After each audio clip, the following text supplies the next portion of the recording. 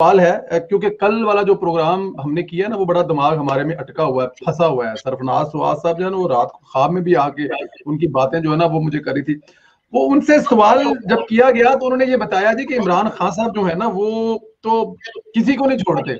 उन्होंने जीनत अमान और रेखा का भी दो करोड़ रुपया खाया हुआ है, उनके भी पैसे खा के आ गए तो इस तरह ये बताएँ कि मतलब आपके तो पैसे शैसे या ऐसा कोई नुकसान या ऐसी कोई चीज़ तो नहीं होगी मतलब उनके हिसाब में निकलता हो? अच्छा ये जीनत अमान वाली बात मुझे भी उनके दोस्त ने बताई थी। जी मैं आपको क्लिप भेज वो दो और, और एक दो और एक दो और खातन के वालदेन ने भी मुझे ये बात की थी। और मैंने ऑब्वियसली मुख्तलिफ़ ये स्टोरी सुनी हुई थी लेकिन मैं आपको ये बता सकती हूँ कि मेरी जो दोस्त हैं जो सहेलियाँ हैं वो मुझे बहुत बुरा भला कहती हैं। और वो इस वजह से बुरा भला कहती हैं क्योंकि जब तक मैं टीवी पे काम कर रही थी तो ज़ाहिर है टीवी पे जब आप काम करते हो तो आपके जो अखराज होते हैं यानी जो गाड़ी के अखराज होते हैं ट्रैवलिंग के होते हैं जो आपके साथ स्टाफ होता है जो आपका मेकअप आर्टिस्ट होता है जो हेयर स्टाइलिस्ट होता है कपड़े वो सब टीवी वाले जो टीवी चैनल करते हैं। तो एक तो मुझे उन्होंने शुरू में काम नहीं करने दिया। काम इस तरह नहीं करने दिया क्योंकि ज़ाहिर सियासी शो तो मैं कर नहीं सकती थी मेरे लिए भी मुश्किल हो गई थी। और दूसरा ये कि वो जो टेलीविज़न चैनल और वो सब कुछ था वो सब कुछ बंद हो गया। फिर मेरा जो स्टाफ था उसको भी इजाज़त नहीं थी बनी गाला में लाने की। मुझे ज़ाती स्टाफ रखने की इजाज़त नहीं थी। मतलब मैं किसी खातून जो मेड है उसकी इजाज़त नहीं रही पूरा साल। हम्म। और उनका जो स्टाफ था वो उन्हीं की तरह का था। कोई काम करने से लगाव नहीं रखता था और सारा वक्त टीवी देखते रहते थे सिगरेटें ही फूकते रहते थे। तो पहले तो जब मैं वहाँ पे गई तो बेसिकली मेरा, मुझे इस बात पे कोसा जाता है क्योंकि जब आप किसी सियासी लीडर की बीवी होती हैं तो आपको दुनिया के सामने कोई शर्म पर्दा रखना पड़ता है। तो ज़ाहिर है मुझे अपने कपड़े, अपने ट्रैवल अपने बच्चों का तो अखराज उठाने पड़ते थे और वहाँ पे करना पड़ा ज़ाहिर है। लेकिन इसके अलावा जैसे कोई मंगनी शादी की अंगूठी कोई जेवर वो भी खुद करना पड़ा क्योंकि मैं नहीं चाहती थी कि शोहर की बदनामी हो। और जो उनके कपड़े और उनका खाना और उनके घर का जो अपकीप था वो भी अपनी ही सेविंग्स में से करना पड़ा।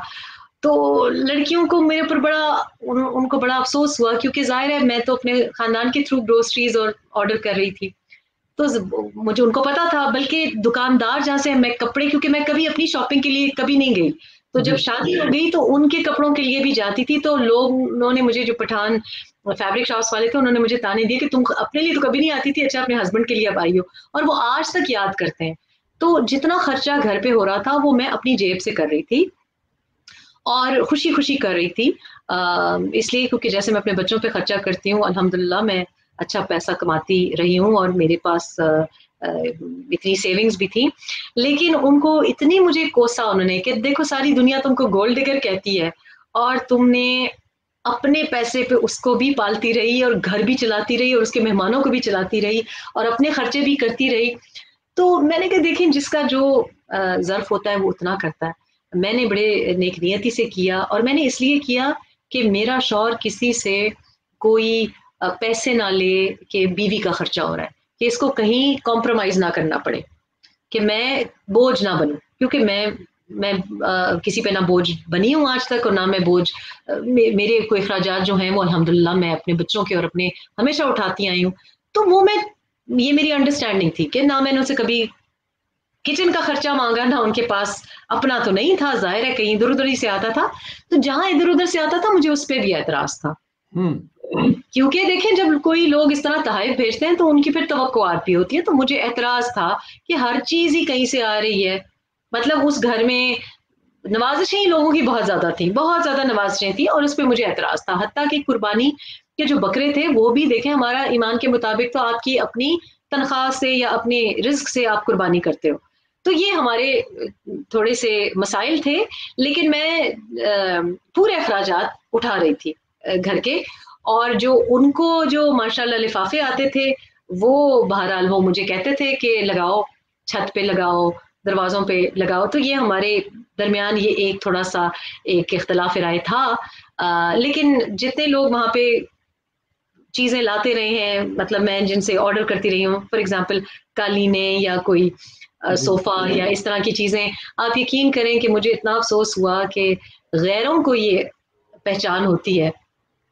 और जब तलाक हुई तो जो, जहाँ से मैंने कालीनें ऑर्डर की थी, बड़ी महँगी कालीनें थी, उनके ज़ाहिर ड्राइंग रूम के लिए ऑर्डर की थी और बर्तन बर्तन मैं सारे बाहर से ख़रीद के और वापस लेके गई। तो वो जो भाई साहब थे, क्योंकि मैं कालीन फैक्ट्री खुद गई थी सिलेक्ट किया था, उन्होंने मुझे मैसेज भेजा कि आप कालीनें वापस कर दें और मैं पैसे आपको वापस भेज देता हूँ।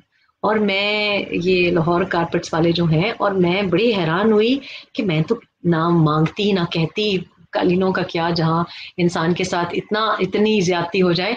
लेकिन मुझे उनकी इतनी हैरत हुई, और मैंने तो उनको ये नहीं बताया था कि मेरे पैसे हैं, ये शोहर के पैसे हैं, आप ऐसी बातें नहीं करते। लेकिन उस आदमी को, क्योंकि ऑब्वियसली खानदानी लोग हैं, उन्होंने मैसेज भेजा है खातून के थ्रू कि उनको कहें कि वो उनको अब तो चाहिए नहीं होंगी, हम वापस ले लेंगे। और उन्होंने मुझे रीएम्बर्स किया। और मैं हैरान थी कि ये गैर शख्स है। और इसको मेरी सच्चाई दिखाई दी है। और जिस शख्स के साथ आपने वक्त गुजारा हो उसको नहीं दिखाई दिया और वो आपको दुनिया भर में झूठ बोल के जलील करे तो ये ये है माशाल्लाह इमरान साहब को तो सरफराज नवाज़ साहब जो कह रहे थे कि वो सच ही कह रहे होंगे इन बातों से तो यही लगता है कि फिर जाती तजर्बा यही है जाती तजर्बा यही है क्योंकि लेकिन मैंने तो खैर माइंड नहीं किया क्योंकि ज़ाहिर है शौहर भी आपका फैमिली मेंबर होता है। तो मैं तो आपको पता है फेमिनिस्ट हूँ मैं तो, तो ये बीवी तो बीवी भी फैमिली मेंबर ही होती है नहीं फैमिली मेंबर होती है शौहर का कोई अगर शौहर जॉबलेस हो शोहर की इनकम ना हो जब शोहर की इनकम ना हो तो मैं तो देखें तो मैं तो सिर्फ़ जबानी फेमिनिस्ट नहीं हूँ। मैं तो बिलीव नहीं करती कि सिर्फ़ शोहर ही प्रोवाइड करे। मैं तो बिलीव करती हूँ कि जो भी कमा रहा हो वो प्रोवाइड करे। तो चूँकि वो नहीं कमा रहे थे कमा तो नहीं रहे थे ना उनका पैसा तो नहीं था। ना जहांगीर तरीन का ना अनिल मुसरत का ना इन इन इन इन दोस्त अहबाब आपके दोस्त होते हैं मेरे दोस्त तो नहीं है ना। ये भी एक नया सवाल है बट चले अगले प्रोग्राम में करेंगे देखिए मेरे लिए मैं अपनी फैमिली के अखराज उठा सकती हूँ और इमरान मेरी फैमिली थे। तो मैंने अखराज घर के उठाए और ये ये इंसान की खुशनसीबी होती है कि अल्लाह उसको इतनी बरकत दे, अल्हम्दुलिल्लाह। तो यही तो मुझे हैरत होती है। आप ये बात करते हैं, जी, कपड़े नहीं है, कपड़े नहीं है। तो मैंने तो इतने कपड़े बना के दिए थे, किधर गए वो कपड़े? अनलेस कि उनको आग लगा दी हो कि ये मनहूस कपड़े हैं। लेकिन हर चीज़ प्रोवाइडेड थी, सब कुछ प्रोवाइड करके दिया। और ये मेरा ख्याल है कि अल्लाह की तरफ़ से ये हर एक को तोफीक नहीं होती कि वो अपनी फैमिली के लिए प्रोवाइड करें। ये मेरी खुश नसीबी है कि अल्लाह ने मुझे हमेशा इतना तोफीक दिया इतना रिस्क दिया। बिल्कुल ठीक है। हमारे कल्चर में माशरे में जो लोग जिनको कोई लत लगी हो ना वो घर की चीज़ें बेच भी देते हैं। तो हो सकता है कपड़े वहाँ पे ना मौजूद हो जो आप बना के दे के आए थे। But anyhow anyhow हो सकता है कि जी कोई हो सकता है कि ये लोग थोड़ा सा सुपरस्टिशियस भी हैं इनके वहम और ये चीज़ें भी होती हैं तो क्या पता इस वजह से भी कोई. किसी चीज़ की नज़र हो गए हो. ये भी hmm. लोगों की अपनी कमजोरियाँ भी होती है तो वहमी इंसान का कुछ पता नहीं चलता वहमी इंसान का कुछ पता नहीं हो सकता है आने वालों ने वहाँ से हर वो चीज़ गायब करवा दी हो उठवा दी हो जिस पर उससे पहले वाले हाँ ये बिल्कुल ठीक मेरी, है। मेरी कल एक सहेली बता रही थी कि आ, कुछ कुछ ये लोग भी करते हैं कि वो एड़ी के नीचे माचिस भी जला के कुछ करते हैं। तो मैंने कहा खुदा का वास्ता अब तुम ये ना करने शुरू हो जाओ ये सीधा नमा मसाला डालो और नमाज़ पढ़ो और खुदा से मांगो ये हरकतें मत करो। तो बस अल्लाह हर एक को वहम से और शक से और इन चीज़ों से दूर रखे। ये पता था वैसे आपको कि इमरान खान साहब इतने वहमी हैं और इनका कुछ इस किस्म का कोई पीरियड तरकीयत पे मुझे नहीं पता होता तो मैं मैं शादी क्यों करती? अगर मुझे कुछ भी पता होता तो मैं शादी क्यों करती? लेकिन ये तो सर्टली देखिए जो इंसान मगरब को इतनी अच्छी तरह से जानता हो और फिर हर जगह आप उसके फ़ोटो नमाज़ के देख रहे हो ईमान ईमान ईमान बंदा बात करता हो तो आप कैसे तो कर सकते हैं? क्योंकि ईमान के साथ तो फिर वहम की गुंजाइश नहीं रहती। ईमान के साथ तो किसी और अमल की गुंजाइश नहीं रहती। पीराना पीरों से रबता होना जब वो मगरब और पीरों से रबता होना पीरों से प्यार मोहब्बत होना ये मतलब लेकिन मेरा मतलब ये है कि अगर या तो आप आप एक तरफ़ से कह रहे हैं ईमान ईमान ईमान की रट लगाई हुई है तो हम तो ये सुना है कि जिनका ईमान पुख्ता होता है वो ऐसी चीज़ों में बिलीव नहीं करते इजाज़त नहीं। दूसरी बात ये कि मगरब में जिन्होंने वक्त गुजारा होता उनका जहन भी ये नहीं मानता। तो पहली दफ़ा जब मैंने ये बात देखी तो मैंने तो यही कहा कि ये ये क्या पागलपन है? ये ये क्या हरकतें हैं? ना पढ़ा लिखा बंदा पाए से अजीब हरकतें हैं ना मैंने तो, तो कभी नहीं देखी। बिल्कुल ठीक बिल्कुल ठीक। लेकिन मैं तो आपको पहली पहली जो पहला मुझे इत्तेफाक हुआ तो उस पर मुझे ज़ाहिर हैरत ही हुई मैं तो शौक में चली गई। मैंने तो ना कभी ऐसी चीज़ें देखी ना सुनी थी। तो ज़ाहिर है ना एक मगरबी जहन ये मानता है क्योंकि लॉजिकल समझी जाती है। आप किसी गोरे को कहें तो वो भी नहीं मानेगा। लेकिन कोई मुसलमान, कोई मोमिन ऐसी बातों पर कैसे यकीन कर सकता है? बिल्कुल ठीक है, बिल्कुल भी कोई मुसलमान ऐसी बातों में यकीन नहीं कर सकता, लेकिन धड़ धड़ल्ले से हो रहा है, वहाँ से एन गैन मीम से काम चल रहा है कि अगर नून से न्याजी बनता है तो आप लगा दें, और नून से अगर न्याजी नहीं बनता तो ना लगाएँ, लेकिन